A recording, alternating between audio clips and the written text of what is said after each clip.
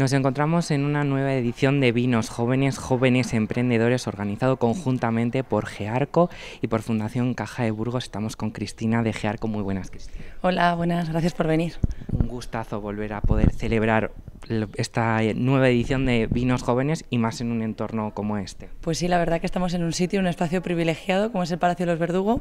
Estamos muy contentos de poder celebrarlo aquí y nada, este año celebramos la décima edición de un evento que es nuestra puesta de largo, que es el evento de Gearco del año y en el que le ponemos mucho, mucho cariño para prepararlo y que bueno, pues eh, creemos que ha tenido mucho éxito porque hay inscritas nada más y nada menos más de 50 personas, así que estamos muy entusiasmados.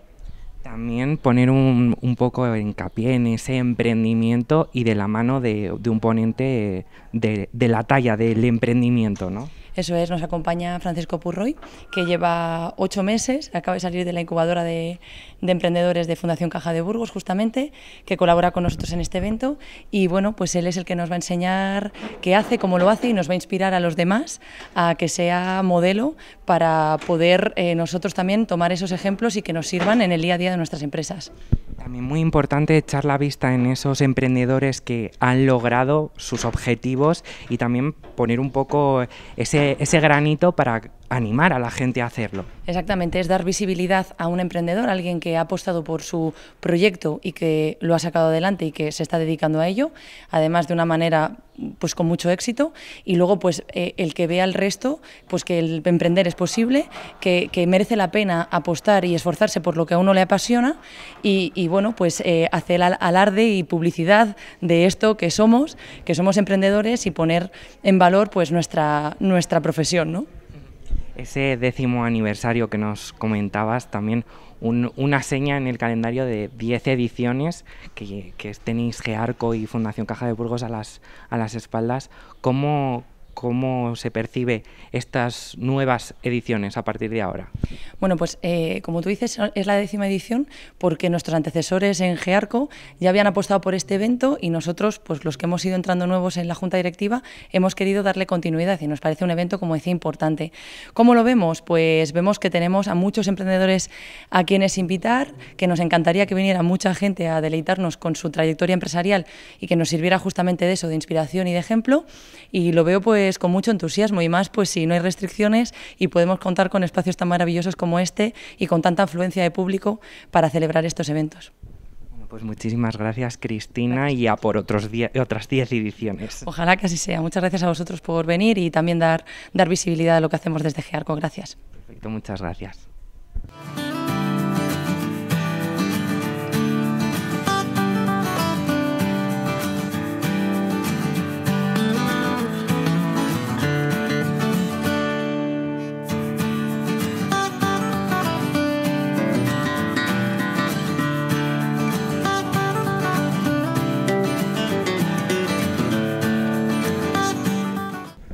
Estamos ahora con el ponente de esta edición de Vinos Jóvenes, Jóvenes Emprendedores, Francisco Purro. Y muy buenas, Francisco. Hola, buenas tardes, ¿qué tal?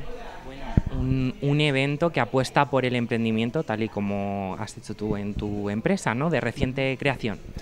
Bueno, la empresa ya lleva un, recorrido y en el fondo yo tampoco soy el típico emprendedor, ni, ni mucho menos, ¿eh? porque afortunadamente había eh, capital eh, y, ganas de, invertir desde, desde Holanda, que es donde, donde están nuestros inversores, y también en, una parte hay inversión norteamericana. Y la suerte o, el emprendimiento ha sido poder montar el hub o el centro de operaciones de este proyecto para España y Portugal aquí en Burgos. Háblanos un poco de, de Landlife para los que nos conozcan. Mm. Landlife somos una empresa de restauración ambiental y reforestación de precisión.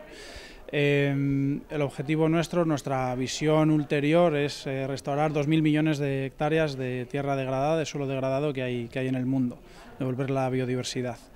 Em, la moneda de cambio que hemos eh, podido, la única que hemos podido encontrar para, hacer, para financiar estas acciones que son bien caras eh, es el mercado voluntario de carbono.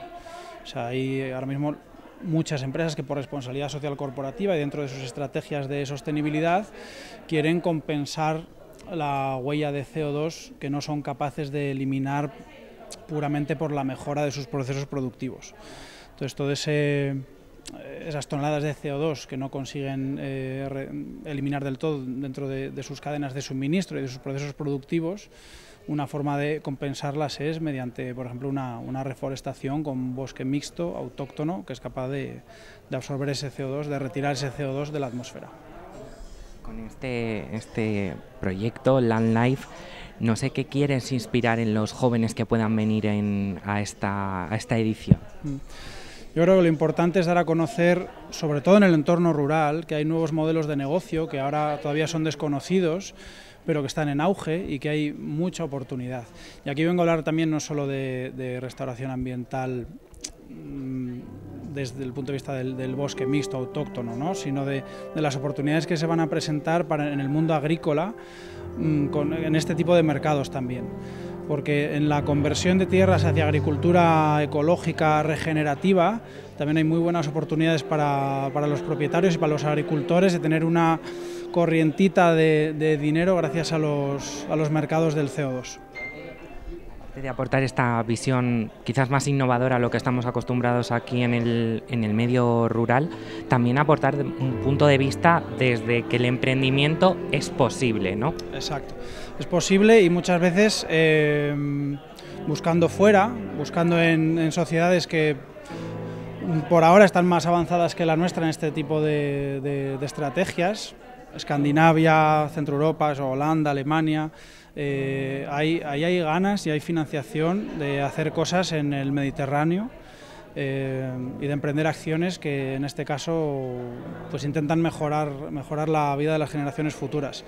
Y hay, que aprovechar ese tirón, y hay que, hay que subirse a ese carro y, traer esa financiación y esas oportunidades de, negocio y, por tanto laborales y de, bienestar al entorno rural.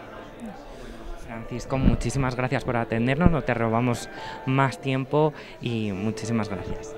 Gracias a vosotros, David, un placer.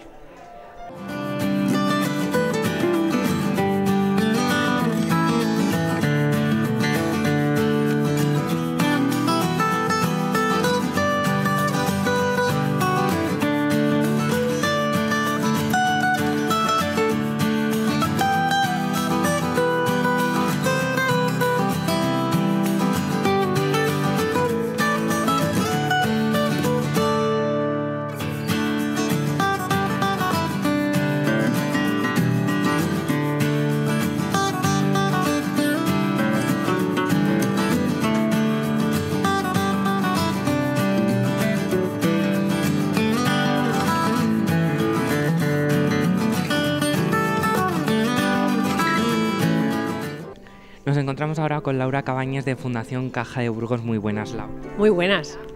Una décima edición de esta iniciativa de vinos jóvenes que apuesta por el emprendimiento y Fundación Caja de Burgos también apuesta por ello.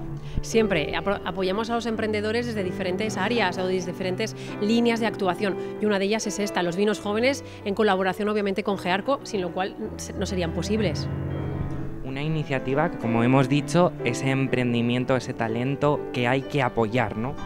Hombre, en la Ribera tenemos mucho talento y hay que apoyarle. Hay que hacer que salga, que, se que lo visibilicemos todos y que puedan encontrar eh, rincones o donde buscar ayuda, información, subvenciones, etcétera. Porque el camino de emprender todos sabemos que no es fácil, pero bueno, si encontramos gente que nos apoya, que cree en nuestros proyectos, siempre será mucho más fácil.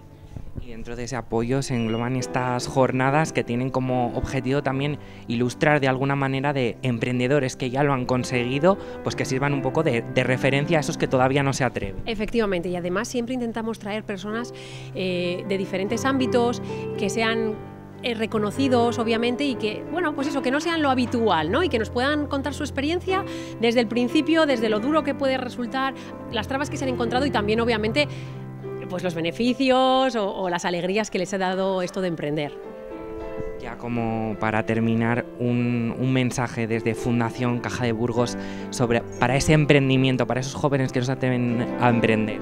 Bueno, pues yo desde Fundación Caja de Burgos lo único que puedo decir es que si hay algún joven o persona mayor, tampoco hace falta irnos a los más jovencitos, que quiera emprender, eh, pueden buscar en nuestra página web toda la ayuda que les podemos prestar. Si su proyecto es innovador, nuevo y tienen pasión, es posible que podamos apoyarles desde un principio con el plan, con todo lo necesario para que ese proyecto al final vea la luz. Muchísimas gracias Laura por acompañarnos y te dejamos que disfrutes de esta maravillosa charla. Muchísimas gracias a vosotros por estar aquí con nosotros.